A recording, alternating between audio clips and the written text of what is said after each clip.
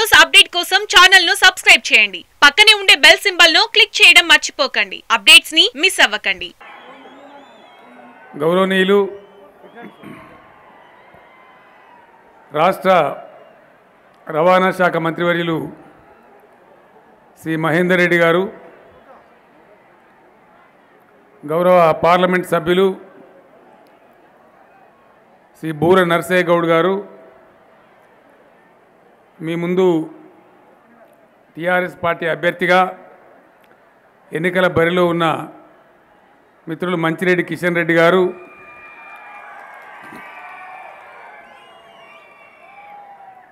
ఈరోజు ఇప్పుడే మీ ముందు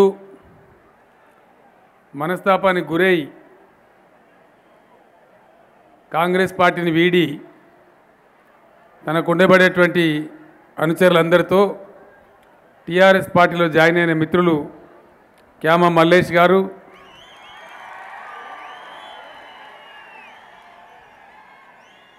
రైతు సమన్వయ సమితి అధ్యక్షులు వంగేటి లక్ష్మారెడ్డి గారు వేదికను అలంకరించినటువంటి రాష్ట్ర పార్టీ జిల్లా పార్టీ పెద్దలు మల్లేష్ గారు వెంట పార్టీలో చేరిన మిత్రులు ఇబ్రాహీం పట్నం నియోజకవర్గం యొక్క అక్కా చెల్లెలకు అన్నదమ్ములకు అందరికీ నా నమస్కారాలు ఒక మాట నేను మీ దృష్టిలో పెట్టదలుచుకున్నా. ఎలక్షన్లు వస్తుంటాయి పోతుంటాయి. పార్టీలు కూడా చాలా పోటీ చేస్తాయి. అభ్యర్థులు కూడా చాలామంది పోటీలో నిలబడతారు. ఎలక్షన్ అంటే ఇది సహజంగా జరిగేటువంటి పరిణామం. మీరు దయచేసి ఏ పార్టీ చెప్పినా సరే వినండి. అక్కడనే విడిచిపెట్టకండి. ఊరికి పోయిన తర్వాత ఇంటికి పోయిన తర్వాత పట్టణం అయితే బస్తీకి పోయిన తర్వాత చర్చ చేయండి. వివేచనతోని ఆలోచనతోని ఓట్లు వేయాలి. మన దేశంలో మన బ్యాడ్ లక్ ఇప్పటికి కూడా ఇంకా ప్రజాస్వామ్యంలో రావాల్సినటువంటి పరిణతి మెచ్యూరిటీ రాలే. ఎలక్షన్లలో గెలవాల్సింది నాయకులు కాదు పార్టీలు కాదు. ఎలక్షన్లలో ప్రజలు గెలవాలి. ప్రజలు ఏదైతే కోరుకుంటారో అది గెలవాలి. అప్పుడే ఏమవుతుంది ప్రజలు కోరుకున్న ఎజెండా ఇంప్లిమెంట్ అవుతుంది అన్ని వర్గాల ప్రజలు సంతోషంగా ఉండే అవకాశం వస్తుంది. ఏదో హేరా పేరు చేసి గోల్మాల్ చేసి గెలిచే వాళ్ళు గెలిస్తే తర్వాత ఐదేళ్ళు కూడా హేరాపేరే ఉంటుంది. గోల్మాలే ఉంటుంది. డెఫినెట్గా జరుగుతుంది అదే జరుగుతుంది. జరిగింది మనమే చూసినాం నేను ముందు ముందు చెప్తా. మీకు నాలుగు ముచ్చట్లు చెప్పానని హెలికాప్టర్ వెళ్ళగొట్టాను నేను. అది ఉంటే ఏంటంటే రమ్మని పిలుస్తూ ఉంటే మనం పోవాలా పరిగెత్తాలి పెద్ద గందరగోళం. శాంతంగా నాలుగు విషయాలు చెప్తాను ఇబ్రాహీంపట్నంలోనే నేను హెలికాప్టర్ వెళ్ళగొట్టాం ఈరోజు మీ ముందు కొన్ని విషయాలు నేను మనవి చేస్తాను మీరు ఇంటికి వెళ్ళినాక ఆలోచన చేయండి. ఇక్కడ పెద్ద కన్ఫ్యూజన్ లేదు. ఇబ్బంది కూడా ఏం లేదు. ఎందుకంటే మీ ముందున్నాయి రెండే రెండు. ఒకటి యాభై ఎనిమిది ఏళ్ళు పరిపాలించినటువంటి కాంగ్రెస్ టీడీపీ కలిసి ఒక కూటమి. పద్నాలుగు పదిహేను ఏళ్ళు కష్టపడి కొట్లాడి తెలంగాణ సాధించి మీ ఆశీస్సులతోని గత నాలుగు సంవత్సరాలు పరిపాలన చేసినటువంటి టీఆర్ఎస్ పార్టీ ఇంకోవైపు ఇక మధ్యలో ఉన్న కూడా ఇద్దరు మళ్ళీ లెక్కలు లేరు. పెద్దవాళ్ళ గురించి పట్టించుకునే అవసరం కూడా లేదు. ఈ రెండిట్లలో దేన్ని గెలిపిస్తే మంచిది ఆలోచన చేయాలి. మన భవిష్యత్తుకు ఏది మంచిది అనే మాట కూడా మీరు తీవ్రంగా ఆలోచన చేయాలి. ఒకటే మాట నేను కోరుతా ఉన్న మీతోని. యాభై ఎనిమిదేళ్ళ కాంగ్రెస్ టీడీపీ పరిపాలనలో ఈరోజున్న కరెంటు గతంలో ఎప్పుడన్నా ఉందా? గ్రామాలలో మారుమూల పల్లెలలో మన లంబాడ తండాలలో చాలా మేధావులు చాలా పెద్దవాన్లు. ఒక్కొక్కడు నాతో రెండంతల దొడ్డున్నారు నా మీద ఒక ఫీట్ ఎత్తు కూడా ఉన్నారు. ఏ కాంగ్రెస్ టీడీపీలా. చంద్రబాబు నాయుడు అయితే హైదరాబాద్ నేనే కట్టినట్టు ఇక. మరి ఇప్పుడు ఇక కులీ కుతుబ్ షా ఆత్మహత్య చేసుకున్న దాన్ని బతికుంటే ఏం చేయాలని అర్థం కాని పరిస్థితి. హైదరాబాద్ నేనే ప్రపంచ పటంలో పెట్టిన అంటాడు. హైదరాబాద్ను ప్రపంచాల పట్టణంలో పెట్టినవో లేదు కానీ మరి కరెంట్ ఆడబెట్టినవు చంద్రబాబు నాయుడు. ఎందుకు ఇయ్యలేకపోయినావు? నీ మేధావితనం ఎక్కడ పోయింది? కిరణ్ కుమార్ రెడ్డి గారని ఒక సీఎం ఉండే చివరి ముఖ్యమంత్రి ఆంధ్రప్రదేశ్కి. ఆయన కర్రవాటి చూపించిన టీవీలో తెలంగాణ రాష్ట్రం అవసరం లేదు. మీ తెలంగాణకు అంత తెలివి లేదు మీకు పరిపాలన చేసుకోరాదు. ఒకవేళ తెలంగాణ అయితే మీకు చాలా కష్టాలు వస్తాయి. మీకు కరెంటు ఉండదు అంధకారం అవుతుంది చీకటి అవుతుంది మీ దగ్గర ఉన్న పరిశ్రమలన్నీ పారిపోతాయని మాట్లాడిండు. నేను చెప్పేది సత్యం అబద్ధం చెప్పాల్సిన అవసరం నాకు లేదు. ఈ మధ్యనే సెంట్రల్ ఎలక్ట్రిసిటీ అథారిటీ కేంద్ర విద్యుత్ ప్రాధికార సంస్థ ఇది నా స్టోరీ కాదు పత్రికా విలేకరులకు తెలుసు. ఈ మధ్యనే ప్రకటించింది వాళ్ళు పది పన్నెండు రోజుల కింద. ఇండియాలో అన్ని రాష్ట్రాల కంటే భారతదేశ సగటు కంటే అతి ఎక్కువ సగటు విద్యుత్ శక్తి వాడే రాష్ట్రం per capita power utilisation. Telangana number one అని వాళ్ళు ప్రకటించింది. నేను గర్వపడుతున్నా సంతోషపడుతున్నా. ఇంకో వాస్తవం ఏంటంటే ఏ కిరణ్ కుమార్ రెడ్డి ఏ ఆంధ్ర ప్రాంతం మనిషి అయితే మీకు పరిపాలన చేయరాదు చీకటి అయితే వాళ్ళ ఆ ఏపీలో ఇవాళ ఇరవై నాలుగు గంటల కరెంట్ దిక్కులేదు. మనకున్నది వాళ్ళకి లేదు. ఇక వాళ్ళ తెలివి మన తెలివి మీరు అర్థం చేసుకోవాలి. కరెంటు వచ్చింది ఉన్నది కరెక్టే. ఎట్లా ఉంటుందండి? డంబాచారం కొడితే ఉంటుందా? అంత పెద్ద మేధావులు కాంగ్రెస్ ఈ నుంచి ఢిల్లీ దాకా. తెలుగుదేశంగా చెప్పనే రాదు మేధావితనం. మరి ఎందుకు ఇవ్వలేకపోయిన వాళ్ళు? ఇవాళ టీఆర్ఎస్ ప్రభుత్వం ఎట్లా ఇవ్వగలుగుతున్నది మాటలు చెప్తే కోతలు కోస్తే రాదు. ఈవెన్ టుడే ఈరోజు కూడా రోజుకు మూడు సార్లు మా నాలుగు సార్లు నేను మానిటర్ చేస్తాను నా సెల్ ఫోన్లో నా ఐప్యాడ్లో రాష్ట్రంలో ఉన్న ఉత్పత్తి సంస్థలలో ఏ సంస్థలో ఎంత ప్రొడక్షన్ వస్తూ ఉంది ఎటుపోతా ఉంది ఎన్ని సైకిల్స్ ఉంది లైన్స్ మీద అబ్జర్వ్ చేస్తాం ఎప్పటికప్పుడు హెచ్చరిస్తూ ఉంటాం ఏ రోజుకు ఆ రోజు. అంత కాపలా కాస్తే అంత అలర్ట్గా ఉంటే మొన్న మధ్య స్టేట్స్ ఏపీ ఉన్నప్పుడు రానంత హయ్యెస్ట్ దాదాపు పదకొండు వేల మెగావాట్ల యూటిలైజేషన్ వచ్చింది పంటలు కోసే ముందు చేలు కోసే ముందు. అయినా కూడా తట్టుకొని ఇయ్యగలిగినాం. దానికి ఆ నిబద్ధత కావాలి ఆ మొండి పట్టుదల కావాలి. చేయాలనే సంకల్పం ఉండాలి. ప్రజలకు మేలు జరగాలనే కాంక్ష ఉండాలి. అప్పుడే సాధ్యమైతే లేకపోతే కాదు. ఇట్లా మీరు ఏ రంగం చూసినా ఇండియాలో ఎక్కడ లేనంత మంచి పనులు ఇక్కడ జరుగుతున్నాయి అది వాస్తవం. ఎన్నికల కోసం చెప్పాలని నేను ప్రాక్టికల్ వాస్తవం మాట. నేను కూడా ఉన్న నలభై ఏళ్ళ నుంచి రాజకీయాల్లో అనేక పార్టీలు చూసినాం. సంక్షేమం నలభై మూడు వేల కోట్ల రూపాయలు ఖర్చు పెట్టి జరుగుతూ ఉంది. వెయ్యి రూపాయల పెన్షన్ ఇచ్చే రాష్ట్రం ఎక్కడైనా ఉన్నదండి? తెలంగాణ తప్ప. ఇయ్యలే. పదిహేను వందల పెన్షన్ వికలాంగులకు ఇచ్చే రాష్ట్రం లేదు. అమ్మాయి పెళ్ళి జరిగితే ఒక లక్ష నూట పదహారు రూపాయలు ఇచ్చే రాష్ట్రం లేదు ఇండియాలో ఎక్కడ కూడా. హైదరాబాద్ నేనే కట్టినా అని చెప్పే చంద్రబాబు నాయుడు కూడా ఏడు ఎక్కడ లేదు ఇండియాలో. మనం అనుకున్నామా? మహిళలు గర్భవతులైతే వాళ్ళు ప్రసవాలైతే ప్రైవేట్ హాస్పిటల్స్ ఇష్టం వచ్చినట్టు కోతలు కోసి దోపిడీ చేస్తే మౌన ప్రేక్షక పాత్ర వహించిన తప్ప దానికి ఒక సొల్యూషన్ తేలే. మేము మదనం చేసి ఆలోచన చేసి ఆ మంత్రి బాగా కష్టపడి హాస్పిటల్ బాగు చేసి కేసీఆర్ కిట్ అనే పథకం ప్రవేశపెడితే అమ్మ ఒడి పథకం ద్వారా ప్రసవానికి వచ్చే మహిళలను ఆ వ్యాన్లలో తీసుకుపోవడం ఫ్రీగా కాస్ట్ లేకుండా మళ్ళీ వాళ్ళకి మంచి ప్రసవం చేయించి అన్ని రకాలుగా చూసుకొని అమ్మాయి ఉడితే పదమూడు వేలు ఇచ్చి అబ్బాయి ఉడితే పన్నెండు వేలు ఇచ్చి ఇంటికి బాడ ఇంటికాడ తీసుకుపోయి మళ్ళీ వదిలిపెడుతున్నారు. ఉందా ఎక్కడైనా ఇండియాలో? ఎవడన్నా ఆలోచన చేసిండ అయితే జరగాలని? ఎక్కడ కూడా లేదు. పెన్షన్లు కానీ కేసీఆర్ కిట్ కానీ ఇతరత్ర సంక్షేమం ఎక్కడ లేదు. అన్నిటిని మించి నిన్న సోనియా గాంధీ గారు మరి ఆమె అన్నదో ఈ పేపర్లు రాసినవి కానీ ఆమె కడుపు తరుక్కపోయిందట. ఆమె తల్లడిల్లిందట. ఎందుకు తల్లి? ఎందుకు తల్లడిల్లి నువ్వు ఏం కారణం? మీ రాజ్యంలో పదేళ్ళ కాంగ్రెస్ రాజ్యంలో పది గంటలు కూడా కరెంట్ ఉండకపో ఐదారు గంటలు ఉంటే ఎక్కువ ఉండే. అది ఐదు మాట కట్ అయి మూడు మాట వస్తుండే. ఇలా తెలంగాణలో కరెంటు మంచిగా అయింది ఇరవై నాలుగు గంటలు ఉంటుంది. దానికోసం బాధపడుతున్నావా? చేనేత కార్మికులు వందల సంఖ్యలో సుమారు ఏడెనిమిది వందల మంది మీ రాజ్యంలో ఆత్మహత్యలు చేసుకున్నారు. ఇలా బ్రహ్మాండంగా వాళ్ళ ఆత్మహత్యలు ఆగిపోయినాయి. దానికోసం నువ్వు తలడిల్లినవా దేనికి తలడిల్లినవు ఏం బాధ అయింది నీకు?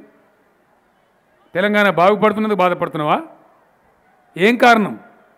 వటికనే వచ్చి ఏరా పేరు మాట్లాడి గోల్మాలు దింపిన గోలాయేటోళ్ళు ఉన్నారనుకుంటున్నావా? గొర్రెలమ్మా? కాదు కదా? ఎందుకు ఎందుకు కడుపు తరక్కపోయింది? ఏం బాధ అయింది లక్ష రూపాయలు వస్తున్నాయి పెళ్ళి చేసే పిల్లలకి అంతకుముందు మీరు ఇచ్చిండ్రా? దానికోసం బాధపడ్డావా? ఇలా ఐదు రూపాయలకి అన్నం పెడతాను హైదరాబాద్లో రోజు యాభై వేల మంది తింటారు దానికోసం బాధ అవుతుందా నీకు? చల్లగా ఉన్నది తెలంగాణ ఇలా మిషన్ భగీరథ ద్వారా ఇంటింటికి నల్లబెట్టి నీళ్ళు వస్తున్నాయి. ఇంకో నెల పది పుట్లయితే కంప్లీట్ అయిపోతుంది. దానికోసం బాధపడ్డావా? దేనికి బాధపడ్డావు? ప్రజలకు కరెంటు మంచిగా వచ్చి ఆత్మహత్యలు బంద్ అయ్యి ఆకలి సావులు బంద్. అయ్యి ఇండియాలో కాదు ఈరోజు ప్రపంచంలోనే ఎక్కడ లేనటువంటి అద్భుతమైన పథకం రైతు బంధు పథకం. ఉన్నదా ఎక్కడన్నా ప్రపంచంలో ఏ దేశంలో ఉందా? ఇండియాలో ఏ రాష్ట్రంలో ఉందా? రైతు బంధు పథకం పెట్టి ఎకరానికి నాలుగు వేలు ప్రతి పంటకు సంవత్సరానికి ఎనిమిది వేలు ఇస్తున్నాం దానికోసం బాధపడుతున్నావా? దేనికి బాధపడవు నువ్వు? ఏం బాధ నీకు? గోల్మాల్ చేసి తింపి ఎటువంటి మాట్లాడి? ఏం జరిగింది? వాడు ఇలా ఢిల్లీ నుంచి వచ్చిన వాడు కాంగ్రెస్ ఇమ్మని సార్ పేరు సూరజ్ వాళ్ళను మన వాళ్ళు కూడా వచ్చినంత అవినీతి జరిగిందట. ఏడా? మీకు అసలు సంగతి తెలియదు. అసెంబ్లీ నేను ఎందుకు డిజాల్వ్ చేసిన? అసెంబ్లీ డిజాల్వ్ చేసిన కారణం ఏంటంటే ప్రాజెక్టులు కావాలి దాన్ని డిజైన్ చేసినాం కడుతున్నాం. మన నీళ్ళు ఎట్లా ఉన్నాం? ఉద్యమ సందర్భంలో కొట్లాడినాం కాబట్టి అవగాహన ఉంది కాబట్టి ఇబ్రాహీం చెరువు ఇబ్రాహీంపట్నం చెరువు మంచిగా కలకలినప్పుడు నేనే చూసినా ఎండిపోయినాక నేనే చూసినా. అది నిండాలి మరి. నిండానంటే డిండి లిఫ్ట్ కావాలి దాంతో నీళ్ళు రావాలి. లేకపోతే రాదిగా లేవు. పాలమూరు ఎత్తిపోతల పథకం ద్వారా రావాలి. అవన్నీ చేసుకుంటున్నాం. దాని మీద కాంగ్రెస్ నాయకులు కోర్టులో పోవడం వంద తొంభై ఆరు కేసులు వేసిండ్రు కాళేశ్వరం మీద కేసులే పాలమూరు మీద కేసులే సీతారామం మీద కేసులే. ఆ కేసులు వేసే పద్ధతి కూడా ఎంత దుర్మార్గం అంటే పర్మిషన్లు వస్తాయి ఎన్విరాన్మెంటల్ క్లియరెన్స్. తెచ్చినాం కష్టపడి. కేంద్ర ప్రభుత్వం ఎన్విరాన్మెంటల్ క్లియరెన్స్ ఇచ్చేది లేకుండే తప్పుగా ఇచ్చిండ్రు అని కేసు పెడతారు. అంటే ఏది మీ ఉద్దేశం? తెలంగాణకు నీళ్ళు రావద్దా? ప్రజలు బతకద్దా? ఇబ్రాహీంపట్నం చెరువు నిండద్దా? మిషన్ భగీరథ అంటే దాన్ని కమిషన్ భగీరథ అంటాడు మిషన్ కాకతీయ చెరువులు నాశనం పట్టింది మీరు. దాన్ని మంచిగా చేసినాం. దాదాపు రెండు వందల చెరువులు ఇబ్రాహీంపట్నంలో కూడా బాగుపడ్డాయి. మీకు అన్ని గ్రామాలలో మీకు తెలుసు. దాన్ని మిషన్ కాకతీయ అంటాడు కమిషన్ అంటాడు. అంటే పంచాయతీగా గెలిచిన ప్రభుత్వం ఇంట్లో వండాలి. పని చేస్తే కమిషన్. నేనన్నా ఇదంతా ఎందుకురా బాబు ఈ సొలు పురాణం? మీ లెక్క మేము దొంగలంగా తింటలేము. నేను కష్టపడి పని చేస్తున్నాం. మరి ఇదంతా ఎందుకు పంచాయతీ పోదామా? అసెంబ్లీ ఎలక్షన్ సపరేట్గా ప్రజల తీర్పు కోరదామని నేను మేము రెడీ కేసీఆర్ పెట్టు. అర్ధరాత్రి తీసుకురా ఎలక్షన్ అన్నారు. నేను ఆయనతో డిజాల్వ్ చేసి తర్వాత గోడలకి ఇప్పుడు మొదలుపెట్టింది ఎలక్షన్ వద్దని సుప్రీంకోర్టుకు పోతారు. హైకోర్టుకు పోతారు ఎన్ని కేసులు? ఆయన పేరేమిడ చెన్నారెడ్డి గారు కొడుకు. మర్రి శశిధర్ రెడ్డి. పది పదిహేను కేసులా ఎలక్షన్ వద్దని. పెట్టు అని చెప్పి తొడలు కొట్టి సిపాయితనం చూపెట్టి తీరా ఎలక్షన్ వస్తే పలాయనం చిత్తగించే పరిస్థితి. అంటే అనవసరమైనటువంటి మంచి జరుగుతుంది. నేను ఒక్కటే మాట మీకు మనవి చేస్తాను మేము కష్టపడి సంపద పెంచుతున్నాం. ఆ పెంచిన సంపద పేదలకు పంచుతున్నాం. ఒక యాదవుల కోసం మంచి స్కీమ్ తెచ్చినాం. ఆషామాషిగా దేలే నేను ముఖ్యమంత్రి అయిన తర్వాత రివ్యూ చేస్తే ఒక రోజు ప్రతిరోజు హైదరాబాద్ సిటీకి ఆరు వందల యాభై లారీల గొర్రెలు దిగుమతి అవుతాయి. మహారాష్ట్ర నుంచి మధ్యప్రదేశ్ నుంచి గుజరాత్ రాజస్థాన్ నుంచి. నిన్న మనకు యాదవులు లేరారపై మనకు ఎందుకు అయితే దిగుమతి? యాదవులు ఎందరున్నారు గొల్లా కుర్మ రెండు కలిస్తే ముప్పై లక్షలు అన్నారు. మరి ముప్పై లక్షల జనం ఉండుడేంది? ఆ వృత్తి ఉండుడేంది? ఇంపోర్ట్ చేసుడేంది? అని అడిగితే సార్ అట్లా పట్టించుకోలేదు వాళ్ళు. ఇమ్మీడియట్గా స్కీమ్ రూపకల్పన చేసి నాలుగు వేల కోట్లు పెట్టి డెబ్బై లక్షల గొర్రెలు తెచ్చి ఇచ్చినవి ఇవాళ గొర్రె గొర్రెలు తెచ్చిస్తే వాటికి నలభై లక్షల పిల్లలు పుట్టినాయి. మీరు కూడా ఇలా ఏ ఊరికి సాయంత్రం ఆరు గంటలకు పోయినా ఆ గొర్రెలు కనబడతాయి మీకు. మీకు అడ్డం అవుతాయి కార్లలో తిరిగేటోళ్ళు చెప్తున్నారు నాకు ఏ ఊరికైనా కనబడుతున్నాయి సార్ అని. జనం దాన్ని కేసీఆర్ గొర్రెలు అంటున్నారు. నేను నీ దయారాబాయి కేసీఆర్ను గొర్రె అనుకున్నాను అని చెప్పిన నేను. మన తెలంగాణ యాదవ సోదరులు నేను గర్వంగా చెప్తున్నా ఈ మాట. పుట్టిన పిల్లల దాన్ని లెక్కబెట్టి చూస్తే పదిహేను వందల కోట్ల రూపాయల సంపద ఇలా సంపాదించారు రేపు మీట్ ప్రాసెసింగ్ ఇండస్ట్రీస్ వస్తే యాదవ యువకులు పెడతారు. గల్ఫ్ దేశాలకు ఇతర దేశాలకు కూడా మనం దిగుమతి చేసుడు కాదు. మన దగ్గర యాదవ యువకులే రేపు మీట్ ప్రాసెసింగ్ ఇండస్ట్రీ పెట్టి బ్రహ్మాండంగా దాన్ని ఎక్స్పోర్ట్ చేసే పరిస్థితికి వస్తారు. కోటీశ్వర్లు అవుతారు. అది కావాలని కోరుతున్నాం. చేనేత కార్మికులను ఆదుకున్నాం వాళ్ళ సావులు బంద్ అయినాయి. గీత కార్మికులను ఆదుకున్నాం అప్పుడు ఆంధ్రప్రదేశ్ ఉన్నప్పుడు లిక్కర్ లాబీల ఒత్తిడికి తలవొగ్గి చీప్ లిక్కర్ లాబీల ఒత్తిడి తలవొగ్గి రంగారెడ్డి జిల్లా హైదరాబాద్ జిల్లా మొత్తం కలు దుకాణాలు మూసేసిన. సుప్రీంకోర్టు జడ్జిమెంట్ ఇస్తే కూడా అమలు చేయలే. ఉద్యమంలో నేను చెప్పిన తెలంగాణ వచ్చిన తర్వాత చేస్తామని. ఇమ్మీడియట్గా చేసినాం. తెరిపించినాం దుకాణాలన్నీ సొసైటీలన్నీ. గీత కార్మికులకు ఎక్స్గ్రేషియా పెంచినాం బకాయిలు కట్టినాం.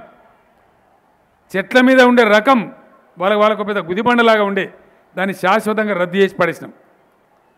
రేపు రాబోయే రోజులలో మోడర్న్ పద్ధతిలో నీర తయారు చేసే విధంగా కానీ చెట్లెక్కే యంత్రాలు కానీ ప్రయత్నం చేస్తూ ఉన్నాం.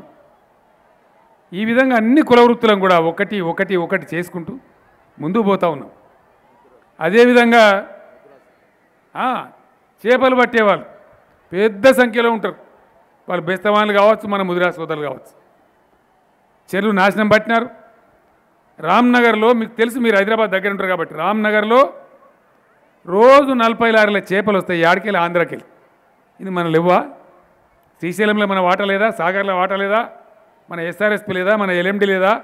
మన సింగూరు లేదా? కాకతీయ రెడ్డిరాజులు నిర్మించిన చె- చెరువులు లేవా మొత్తం బర్ఖాస్తు నాశనం పట్టినారు. చేపలు పట్టే ముదిరాజులే చేపలు కొనుక్కొని తినే పరిస్థితికి వచ్చింది. అది పోవాలని వెయ్యి కోట్ల రూపాయలతోని మిషన్ కాకతీయ చేసుకుంటూ బ్రహ్మాండంగా దానిలో వంద వంద ఇరవై వంద యాభై కోట్ల విలువ వేసినటువంటి చేప పిల్లలు సీడ్ పోస్తూ ఉన్నాం. బ్రహ్మాండంగా ఈరోజు సంపాదించుకుంటా ఉన్నారు. రేపు ఇంకా బాగా చేస్తాం. శ్రీశైలంలో సాగర్లో మన వాటా తీసి మర బోట్ల మీద పోయి చేపలు పట్టుకునే పరిస్థితి కూడా తీసుకొస్తాం. చేపలు మనం దిగుమతి చేసుకోవడం కాదు కలకత్తాకో జార్ఖండ్కో మనమే ఎక్స్పోర్ట్ చేసే పరిస్థితి తీసుకొని వస్తాం. గీ పని చేస్తూ ఉన్నాం. సంపద పెంచి పేదలకు పంచుతున్నాం. వృత్తి పని వాళ్ళకి పంచుతున్నాం. ఎట్లా పెంచుతారండి సంపద? వాటి మాటలు కొడితే వస్తాయా? కథలు చెప్తే వస్తుందా? ఇసుక ఉంటుంది కదా వాగులలో నదులలో ఉండే ఇసుక. ఆ ఇసుక మీద ప్రభుత్వానికి ఆదాయం వస్తుంది. పది సంవత్సరాల కాంగ్రెస్ ప్రభుత్వంలో పదేండ్లు తెలంగాణ పది జిల్లాల మీద వచ్చిన ఆదాయం తొమ్మిది కోట్ల యాభై ఆరు లక్షలు. పదేండ్లలో. ఇది రికార్డు ఇది లెక్క. దీనిలో జూటా స్టోరీలు చెప్తానికి అవకాశం ఉండదు. ఇంకా ఆడిట్ అయిన డబ్బు అది. అలా అబద్ధాలు చెప్పేదానికి రాదు. పది సంవత్సరాలు తొమ్మిదిన్నర కోట్లు వస్తే షేర్ సుభాష్ రెడ్డి అని చెప్పిన పొలిటికల్ సెక్రటరీ ఆయన ఉన్నాడు ఆయన ఒక మైనింగ్ కార్పొరేషన్ చైర్మన్గా ఉన్నాడు. ఆయన నాయకత్వంలో నాలుగేండ్లలో కేవలం నాలుగేండ్లలో ఇసుక మీద తెలంగాణ ప్రభుత్వం సంపాదించిన ఆదాయం రెండు వేల యాభై ఏడు కోట్లు. పదేళ్ళలో పది కోట్లు రాకపోతే నాలుగేండ్లలో రెండు వేల యాభై ఏడు కోట్లు వచ్చింది అంటే ఐదేండ్లలో పదివేల కోట్లు వస్తుంది స్మగ్లింగ్ ఆపి అరాచకాలు ఆపి ఇష్టారీతిని అమ్మడం యాభై శాతమే ఆపినాం మేము. నెక్స్ట్ మళ్ళీ చేయాలి ఇంకా. యాభై శాతం దొంగతనం ఆపితేనే రెండు వేల కోట్ల రూపాయల ఆదాయం ఇది ఇగో ఈ పద్ధతిలో పెంచుతున్నాం. అంటే ఐదేళ్ళలో ఒక టర్మ్లో పదివేల కోట్లు పెరుగుతుంది ఆదాయం. అట్లా పెంచిన దాన్ని పేదలకు పంచుతున్నాం. రైతు బంధు స్కీమ్ ఎక్కడ ఉందా ప్రపంచంలో? ఇవన్నీ కూడా చేసుకున్నాం. నేను మీ అందరికి మనవి చేస్తా ఉన్నా. హండ్రెడ్ పర్సెంట్ ఈ ఎలక్షన్లో బంపర్ మేయాడుతూ గెలుస్తున్నాం మనం. ఇలా ఇబ్రాహీంపట్నంలో మీరు ఇంతమంది రావడమే కాదు క్యామ మల్లేష్ లాంటి సీనియర్ లీడర్ కూడా ఆయన అనుచరులతో జాయిన్ అయిందంటే పేద మేయాడుతో ఇక్కడ మనం గెలుస్తామన్న డౌటే లేదు. ఇద్దరే ఉన్నారు ముఖ్యంగా ఉన్నది ఒక ఆయన మంచిరెడ్డి కిషన్ రెడ్డి ఇంకొక ఆయన షెడ్డరెడ్డి ఉన్నాడు మరి మనకు మంచిరెడ్డి? షెడ్డరెడ్డి ఆలోచన చేయాలని ఇబ్రహీంపట్నం వాళ్ళు. రేట్ అయితే మనకు రక్షణ ఉంటుంది. క్యామ మల్లేష్ని హామీ ఇస్తా ఉన్నా మంచి క్రియాశీల నాయకుడు. మీరు ఎవరు నర్వస్ కావాల్సిన అవసరం లేదు. ఆయనకు కూడా తగిన స్థాయి ఇచ్చే బాధ్యత నాది. నిలబెట్టుకుందాం. ఒక బలహీన వర్గాల వ్యక్తి యాక్టివ్ ఉన్నాడు చదువుకున్నాడు విద్యావంతుడు కాబట్టి మంచి ఉన్నతమైన స్థానానికి త్వరలోపల ఆయన కూడా తీసుకెళ్తా మీ అందరికి నేను హామీ ఇస్తా ఉన్నా. మీ అందరితో నేను కోరేది ఒకటే దయచేసి అందరు కలిసి ఒక లక్ష్యం మేయర్తో గెలిచి రావాలి కిషన్ రెడ్డి గారు. ఇంకొక మాట మీకు చెప్పాలి. ఇప్పుడు ఈయన మన బూర నరసయ్య గౌడ్ను కిషన్ రెడ్డిని నన్ను మమ్మల్ని కొట్టడానికి కాంగ్రెస్ వాళ్ళు సరిపోతలేరట. ఆంధ్రాకు పోయి చంద్రబాబు నాయుడిని భుజాల మీద కోసొట్టుకొని తొలకత్తాను. ఇబ్రాహీంపట్నంలో మీరు ఒకటి చెప్పాలి నాకు. అయిపోయింది కదా ఇప్పుడు ఆయన వాళ్ళ రాష్ట్రం వాళ్ళకైంది మనది మనకైంది. మంచో చెడును మన బాధ మనం పడుతున్నాం. ఆయనకు లేదా రాష్ట్రం? మళ్ళా మనకు ఆంధ్ర వలసాధిపత్యం చంద్రబాబు నాయకత్వం తెలంగాణకు అవసరమా? వినబడతలేదు నాకు. అక్క మీరు చెప్పాలి. అవసరం లేదు. మరి ఎందుకు వస్తున్నట్టు ఇలా ఆయన చేసేది ఏంది? పదో పదకొండో సీటు పోటీ చేస్తాడు. ఎక్కడ డిపాజిట్ రాని అది వేరే సంగతి. దబ్బన పొరపాటున గెలిస్తే ఏం వద్దంటాడు చంద్రబాబు నాయుడు? పాలమూరు ఎత్తిపోతల పథకం కావద్దు ఇబ్రాహీంపట్నం చెరువు నిండద్దు. ఆయన అవసరమా మనకు? ఏం ఛాలెంజ్ చేస్తుండు చంద్రబాబు నాయుడు ఎలా మీ ఇంట్లోకి వచ్చి ఇబ్రాహీంపట్నం వచ్చి మిమ్మల్ని కొట్టిపోతా. మీ ఏళ్ళతోనే మీ కన్ను పొడిపిస్తా. పొడుచుకుందామా? మనం అమాయకులమా? గొర్రెలమా? ఇంత నాదాన్నమా? దయచేసి అది రుజువు చేయాలి. ఆయనను కొట్టాలి ఆయనను దూరకొచ్చే కాంగ్రెస్ని కొట్టాలి. చేయితోని కొట్టదు ఓటుతోని కొట్టాలి. ఆ చైతన్యం తెలంగాణ రావాలి. అనేక కష్టాలు పడి చివరికి సాగు నోట్ల తలకాయ పెట్టి తెలంగాణ తెచ్చిన బిడ్డగా మీ బిడ్డగా నేను చెప్తా ఉన్నా. మోసపోవద్దు గోసపడతాం. మోసపోతే గోసపడతాం ఆగం కావద్దు. స్థిరంగా మంచిగా ఆలోచించి మన భవిష్యత్తుకు మన పిల్లల భవిష్యత్తుకు మన తరానికి ఏది అవసరమో అది చేయాలి. అది అవసరం. లేకపోతే దొంగల కుట్రలకు బలైతం. నేను ఒక్కటే మాట మీకు అందరికి హామీ ఇస్తా ఉన్నా. గ్యారంటీగా మనమే గెలుస్తాం. అంతగలతో వారం పది రోజులు బాగోతాం. ఈరోజు సంక్షేమాన్ని మరింత పెంచుకుందాం. కుసమ్మ. సంక్షేమాన్ని మరింత పెంచుదాం. వెయ్యి రూపాయల పెన్షన్ను రెండు వేల పదహారు రూపాయలు ఇచ్చుకుందాం. వికలాంగులకు ఇచ్చేది పదిహేను వందల నుంచి మూడు వేల పదహారు రూపాయలు ఇచ్చుకుందాం. నిరుద్యోగ యువకులకు లక్షలాది మందికి నెలకు మూడు వేల పదహారు రూపాయలు వాళ్ళకి వృత్తి కూడా ఇచ్చుకుందాం. రైతు బంధు కోసం పెట్టే పథకం ఏదైతే ఉందో ఎనిమిది వేల నుంచి ఇంకో రెండు వేలు పెంచి దాని ఎకరానికి పదివేలు చేసుకుందాం. రైతు బీమా కూడా కొనసాగించుదాం ఇంకా చేరే వాళ్ళని కూడా చేర్చుకుందాం. మీ అందరు నేను హామీ ఇస్తా ఉన్నా. నేను ఇవ్వని భయపడ మీకు తెలుసు. అవసరం కూడా లేదు నాకు. వంద శాతం ఒక వన్ అండ్ హాఫ్ టూ ఇయర్స్లో పాలమూరు ఎత్తిపోతల పథకం డిండి కంప్లీట్ చేసి మీ ఇబ్రాహీం నగర్ లిఫ్ట్ కూడా కంప్లీట్ చేసి మూడు వందల అరవై ఐదు రోజులు మీ చెరువు నిండే ఉంటట్టు చేసే బాధ్యత నాది. ఖచ్చితంగా నేను ఆ బాధ్యత తీసుకుంటా. కోటి ఎకరాలు పారాలి తెలంగాణలో ఆరు నూరైనా. మన హక్కు మన వాటా అది. మనం ఎవరిని బతిమాలి అక్కర్లేదు. వంద శాతం కోటి ఎకరాలు పచ్చబడాలి. మీ ఇబ్రాహీంపట్నం ప్రాంతం మీరు అదృష్టవంతులు. సిటీ సంఖ్యలో ఉన్నారు. ఇవాళ మీ దగ్గరనే కొంగర మీ జిల్లా కలెక్టరేట్ కడతా ఉన్నారు. పోలీస్ హెడ్ క్వార్టర్ కడతా ఉన్నారు. మీ భూముల ధరలు ఇంకా పెరుగుతాయి ఎన్నో రెట్లు పెరుగుతాయి. ఫార్మా సిటీ మీ దగ్గరనే వస్తూ ఉంది. నేను మొన్ననే ఆ మినిస్టర్ రామారావుకి చెప్పిన ఐటీ కూడా ఈ దిశగా రావాలి ఇబ్రాహీంపట్నం దిక్కు రావాలి. ఐటీ పరిశ్రమలు కూడా. ఇక్కడ ఒక హబ్ రావాలి. ఉప్పల్ దిక్కు ఒకటి పోవాలి. ఓన్లీ గచ్చిబౌలు కాకుండా నాలుగు మూలలకు విస్తరించాలి. ఇంకా పెరుగుతూ ఉంది ఐటీ మన దగ్గర. ఆ విధంగా అనేక మీ యాలాల దగ్గర బ్రహ్మాండమైన ల్యాండ్స్ కూడా ఉన్నాయి. అనేకమైన క్లస్టర్స్ వచ్చే అవకాశం ఉంటుంది. డెఫినెట్గా అన్ని రకాలుగా మీరు బాగుపడతారు సిటీకి దగ్గర ఉంది కాబట్టి అడ్వాంటేజ్ ఉంది. ఇద్దరు నాయకులు ఇప్పుడు మంచిరెడ్డి గారు క్యామ మల్లేష్ గారు ఏకమైనరు కాబట్టి ఇద్దరు శక్తిమంతులే కాబట్టి వాళ్ళు నన్ను వదిలిపెట్టరు. గ్యారంటీ ఎంబడ పడతారు. మంచి పని చేసే మీకు చూపెడతారు. తప్పకుండా విజయం సాధించాలి. మంచిగా ముందుకోవాలి. కాంగ్రెస్ నాయకులు మాట్లాడుతూ ఉన్నారు చాలా పెద్దగా. ఏం చేసినారో క్యామ మలేష్ గారు బయట పెట్టారు వాళ్ళ దొంగతనం. నేను చెప్పే అవసరం లేదు. ఇక నీతి నిజాయితీ అని ఉత్తమ్ కుమార్ రెడ్డి మాట్లాడితే దయ్యాలు వేదాలు వలిచ్చినట్టున్నది అవినీతి గురించి మాట్లాడితే. ఈ రకంగా తెలంగాణ ఉద్యమం గురించి మాట్లాడుతుంది ఉంటుండే మర్యాద గ్యారంటీ ఉంటుండే గౌరవిస్తారు ప్రజలు. సోనియా గాంధీని కూడా గౌరవించుదురు. ఎందుకు గౌరవించలే? ఇప్పుడు కాదు నేను చెప్పేది రెండు వేల పద్నాలుగులోనే గౌరవించలే కదా.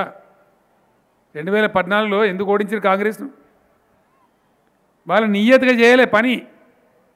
రెండు వేల నాలుగు తర్వాత రెండు వేల ఐదుకో ఆరుకో తెలంగాణ ఇచ్చుంటే ఇవాడు జావకపోవు అంత రభస కాకపోవు నేను ఆభరణ దీక్ష పట్టే పరిస్థితి రాపోవు. అప్పుడు అడితే బాగా రాజాగా ఉంటుండే. దాని తర్వాత వైఎస్ రాజశేఖర్ ట్రాప్ల పడి ఎగ్గొట్టే ప్రయత్నం చేసి మనం నిలబడి నిలబెట్టుకుంటే ఉద్యమం మొండిగా చివరిదాకా ఉంటే గత్యంతరం లేని పరిస్థితిలో ఇచ్చిండ్రు. ప్రేమతో ఇయ్యలే. అందుకే కొట్టిండ్రు. కాంగ్రెస్ నాయకులు నేను మాట్లాడుతూ ఉన్నా. తెలంగాణ ఎడల మీ కమిట్మెంట్ ఏంది? నా మీద ఉద్యమ నాయకుడు ఉన్న నా మీద మూడు వేల ఆరు వందల నలభై ఏడు కేసులు పెట్టారు నా మీద. మూడు వేల ఆరు వందల నలభై ఏడు. పుణ్యాత్ములు అప్పటి సమైక్య పాలకులు.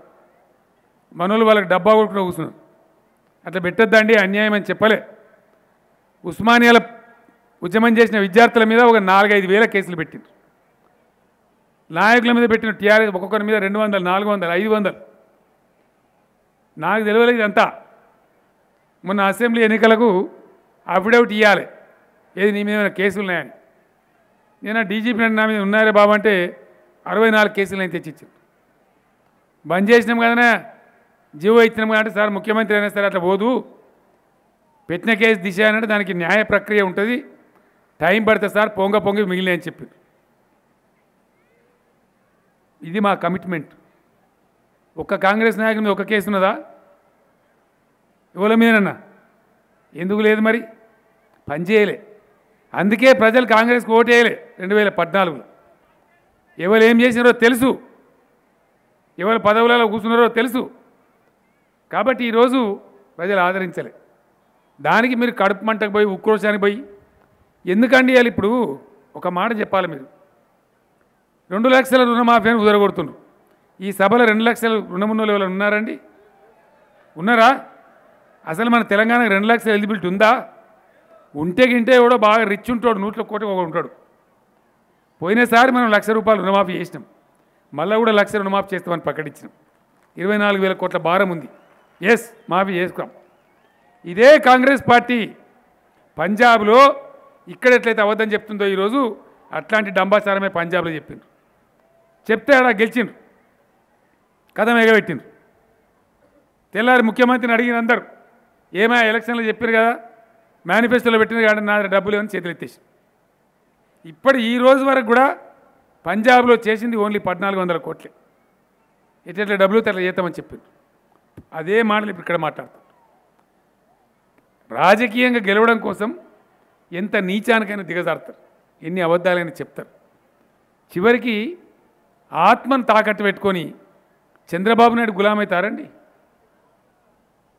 చంద్రబాబు నాయుడు లొంగిపోతారా? దమ్ముంటే మీరే కొట్టాలని ఉంటుంది గెలితే గెలితాం ఓడి తోడతాం. ఎవరైనా గెలిచినా తెలంగాణలో ఉండాలి. మళ్ళీ వాళ్ళ పెత్తనం ఎందుకు? వాళ్ళని దూరం కచ్చుకుంటావు దయచేసి మా పత్రికా విలేకరులకు నేను కోరుతున్నా. ఇది చిన్న విషయం కాదు. తెలంగాణ అస్తిత్వాన్ని తెలంగాణ ఎంటిటీని ఛాలెంజ్ చేసే ఇష్యూ ఇది. మనం అందరం చైతన్యంగా ఉండాలి. ఎన్నికలు వస్తాయి పోతాయి. అది ఇష్యూ కాదు. బట్గా వాళ్ళ పెత్తనం మళ్ళీ మనకు అవసరమా? ఎవరు వాళ్ళు? మన కాళేశ్వరానికి వ్యతిరేకం మన నీళ్ళకు వ్యతిరేకం మన కరెంటుకు వ్యతిరేకం మన ప్రగతికి వ్యతిరేకం. గా శత్రువుని తెచ్చి మన ముఖం మీద గుద్దినట్టు తెలంగాణలో పోటీకి పెట్టి మేము కాంగ్రెస్ పార్టీ ఊరేగుతామంటే ఏ విధంగా కరెక్ట్ అవుతుందండి ఇంకా ఒక మాట ఏంటంటే దరిద్రం అంటే ఈ దద్దమ్మలు రాసిస్తారు ఆ సోనియా గాంధీ చదివిపోతుంది. ఏం చెప్తా సోనియా గాంధీ నిన్న తెలంగాణ గడ్డ మీద మీటింగ్ పెట్టి ఆంధ్రాకు package ప్రకటిస్తుంది.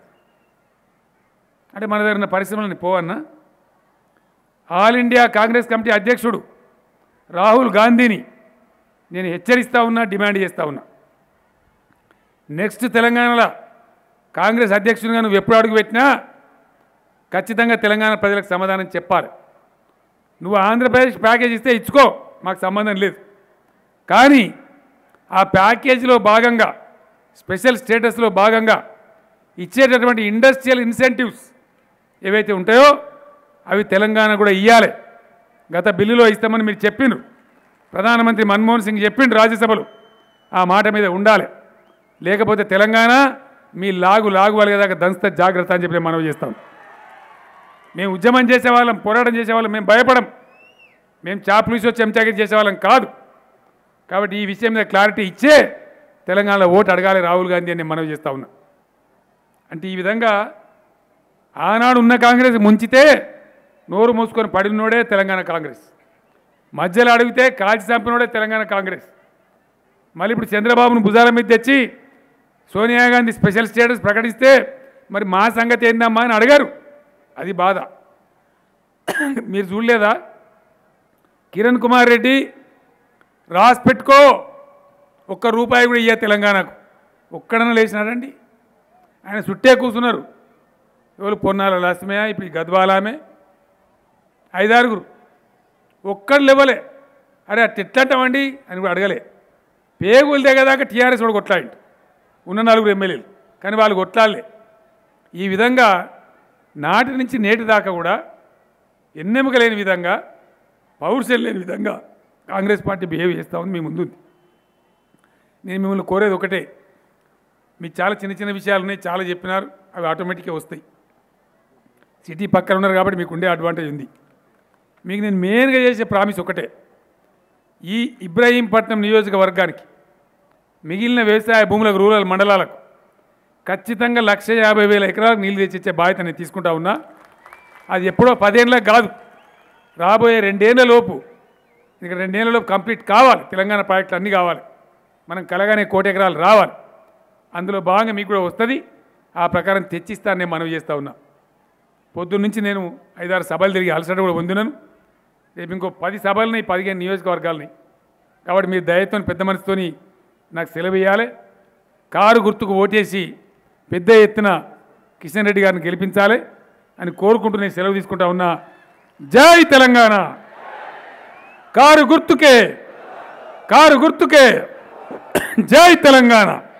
Thanks for watching please like comment share follow on Facebook, Google Plus, Twitter, Instagram. For more updates, please subscribe Great Telangana TV.